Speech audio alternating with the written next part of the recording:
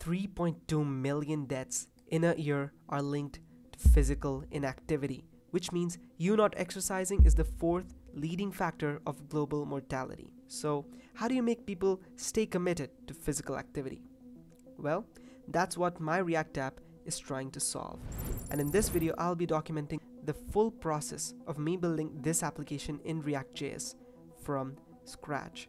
As much as this video is a tutorial for beginners, this video can also give you an insight as to how an app developer might build an application to solve a real world problem. Without wasting any further time, let's start the journey. Before touching the keyboard, I had to whiteboard the complete plan, starting with the idea, the features I will be implementing, and the technology at my disposal. So let's talk features. The full application is based on circuit training. If you don't know what that is, it's basically where you repeat a set of exercises and try to increase the amount of sets over months of time. So the features are actually very simple. Creating and editing a workout in app, starting a workout session in app, and storing the workout data. And of course, being able to visualize the progress using graphs. Now wait a minute, why graphs? This well-reviewed study shows that by creating visual representation of your progress, individuals can feel more motivated and engaged in the process of working towards their goals. And that's why I'm using graphs. The technology is React.js and Redux for better state management. Now comes the second part of our journey, and that is user experience and user interface. This means wireframing the full application and building a design for it. For example, here the blue notes show the buttons or the portals that take us to different parts of the application. Pink notes here show a specific screen or a view. So keeping this in mind, so this is the design I ended up deciding is the home page of the application. When you click all workouts, you will be taken to the library or you can get in through clicking this library button also. So when you get into the library and click on any of these workouts, you move into the workout info page. And in this, you'll have the general information about the sets and the recent activity. And when you click on start workout, you will be taken to the screen.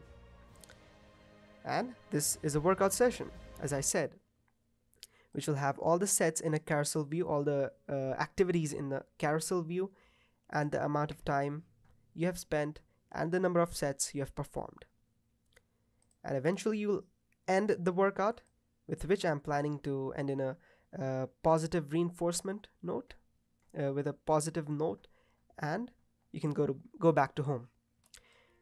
When you go back here, you can also go to history of the page, uh, to the history of your workouts. You'll be taken to this page where you can see each activity and the number of sets you performed. When you click on any of them, you'll see a more detailed view where finally you can see the full stats of the workout. Now this page still not designed yet. I'm gonna show the brief uh, history of the workout and I'll have a graph which shows the improvement over time showing the number of sets on the y-axis and the number and the dates on the x-axis. Right after that I went straight to coding. Link to all the code in the description below. Starting with setting up a store in Redux and handling the full component tree. Until it got a little boring. So I set a challenge for myself. 24 hours, the full application. One screen at a time, one view at a time, one button at a time. One step at a time, one punch at a time, one round at a time.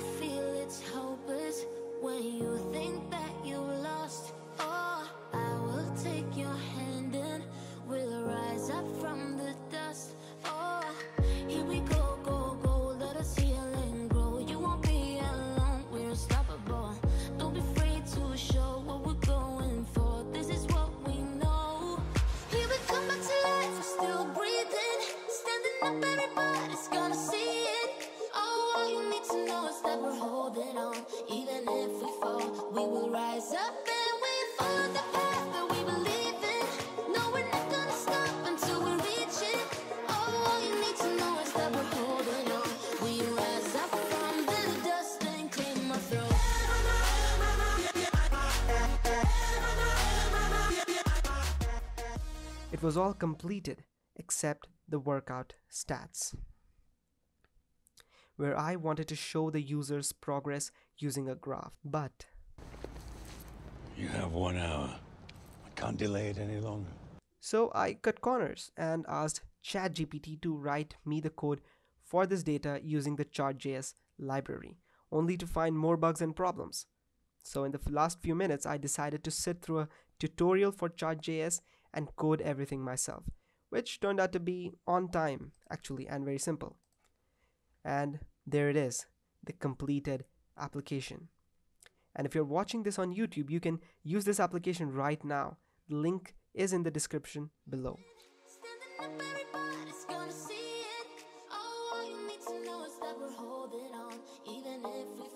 We will rise up